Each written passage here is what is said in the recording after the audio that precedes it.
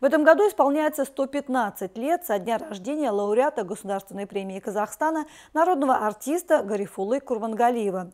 Мероприятие в честь этой даты прошло в Тоскалинском районе. Здесь состоялся концерт оркестра казахских народных инструментов имени Даулеткирея.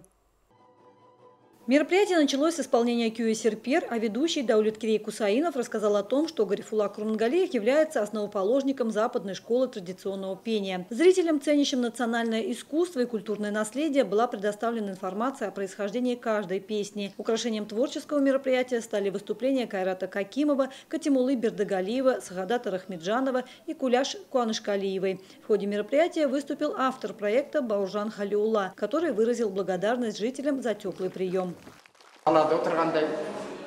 У нас было ощущение, будто мы на просторах нашей степи. Все хорошо организовано. Оркестр не часто бывает в сельской местности. Поэтому я благодарю организаторов, которые подарили нам такой душевный вечер.